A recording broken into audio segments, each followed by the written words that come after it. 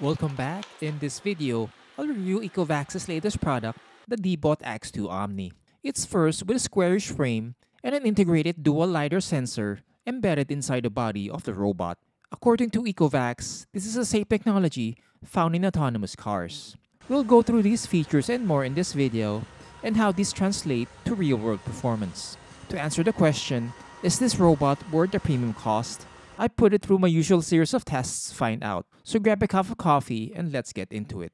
The X2 Omni is the latest in a long line of Ecovacs robot vacuums and has some features I've never seen in their product line. The most obvious for me is a squarish frame. This design change aims to improve edge cleaning, giving it better efficiency than a round-shaped robot. One difference with the Ecovacs design is that the edges are more rounded than other brands I've tested, reducing the risk of it getting wedged in tight areas. At first, I thought this robot used a VSLAM algorithm since it doesn't have a LiDAR cover on top, but it does not. It uses an integrated dual LiDAR embedded inside the body. This feature has pros and cons, which we'll look at later on. The LiDAR system also doubles as an obstacle sensor paired with a front twin lens camera so it can avoid objects. Since this robot uses LiDAR, it navigates like one, starting the run cleaning the edges before moving toward the middle portions in a back and forth pattern. And the two-pass run activates a crisscross pattern. It also has a mapping run, significantly reducing map creation time since it doesn't have to go through every nook and cranny. With the change in shape, there's also a change in the brush layout, with a side brush at the edge and an all-rubber brush behind it. I like that Ecovacs used an all-rubber brush since it doesn't wear out as quickly. However, it doesn't span the robot's width, only measuring 8 inches wide, and there's a noticeable gap on both sides, so it doesn't maximize the squarish frame.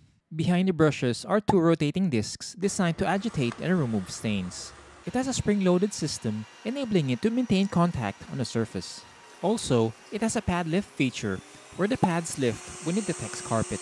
The X2 Omni has a do-it-all base station with self-emptying and pad washing features. It has a top-mounted 4-liter clean water tank and a 3-liter dirty water tank. The bag is located at the middle and has a 3-liter capacity.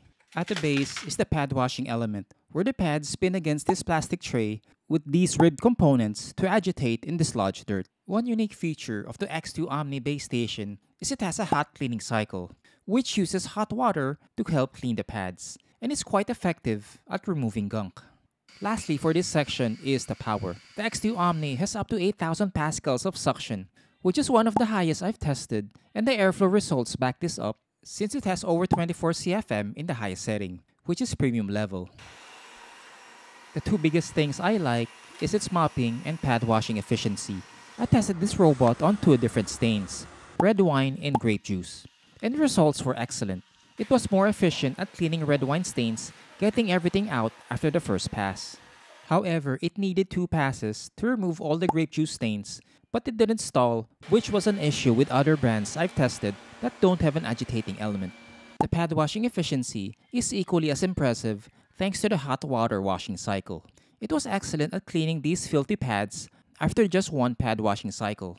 The next thing I like is the navigational efficiency of this robot. It completed a two-pass run in this small room in less than 12 minutes, which is one of the fastest times I've tested. But that's only one part of the equation. Unfortunately, debris pickup isn't as good as I'd hoped for a high suction robot vacuum. You'll notice bits and pieces of debris not picked up by the robot. Another thing I like is the mapping run, which cuts map creation time compared to a traditional run, since it leverages a laser scanning ability to detect walls without going near them. Vacuuming performance on hard floors is above average, picking up 99.44%, including the sand on hard floor test. Unfortunately, it wasn't as good on carpet getting a below average score, which I'll discuss later. One huge advantage of the embedded LiDAR sensor is the robot has a flat surface, so it will fit underneath furniture with a clearance of around 3.8 inches. But since this robot has a built-in water tank and a motor for the pads, it's nearly as tall as a robot vacuum with a top-mounted LiDAR sensor, so it didn't fit under this sofa. Consumers can use this robot as a stealth CCTV since it has a front twin lens camera. What I like about the Ecovacs app is that this feature is seamlessly integrated into the main interface, so it's easily accessible. This camera also doubles as an obstacle avoidance sensor enhanced by LiDAR and it can avoid obstacles like pet feces, coiled wires, footwear, and even this weighing scale. One issue is its consistency. There were instances where it didn't avoid these obstacles since the algorithm lets it get too close. The Ecovacs app has one of the more complete feature sets I've seen. It has everything you'll need to manage this robot vacuum. Some of the helpful features include the live map, map saving, 3D map, containment, and scheduling. These are standard in most premium level LiDAR robot vacuums. But I'd like to highlight the Yiko feature, which functions like Alexa, enabling consumers to use voice to control the robot. At your service. Can you please mop the floor? Okay, start mopping the whole house. Despite the high airflow, this robot isn't noisy, only maxing at 67 decibels in the highest power setting. And it was at 60 decibels in the two middle settings. Despite the high airflow, the X2 Omni's carpet cleaning performance is underwhelming. It was below average in cleaning surface and embedded dirt in nearly all the tests. It was only excellent at cleaning quinoa, but not as good at cleaning other debris, especially heavy ones like pet litter. Another struggle for the X2 Omni is deep cleaning sand on mid-pile carpet, only getting an average of 63.6%.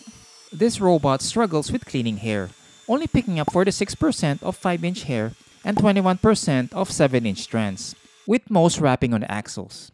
While the integrated LiDAR system works in theory, I've noticed several limitations to its functionality. First is a sensor location, which is at the front corner of the robot. Since it's in front, it can only fire signals in front of the robot.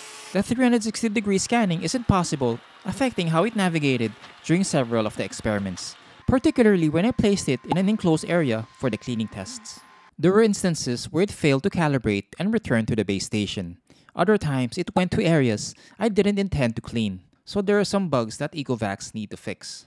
The square frame is more prone to wedging in tight spaces. It got stuck under the frame of this table, Granted, it struggled to move on this plush rug. There are inconsistencies with obstacle avoidance I already mentioned earlier. Yes, this robot can avoid obstacles, but it wasn't consistent enough. I don't recommend leaving wires scattered or pet feces unclean since there's a risk of the robot touching these. Lastly is the high cost. This do-it-all robot vacuum will cost over 4 figures. Here are some random things I noticed with the X2 Omni while testing it. First is the bag which uses a cardboard insert. One issue with this design is that it easily bends if you try to reattach it.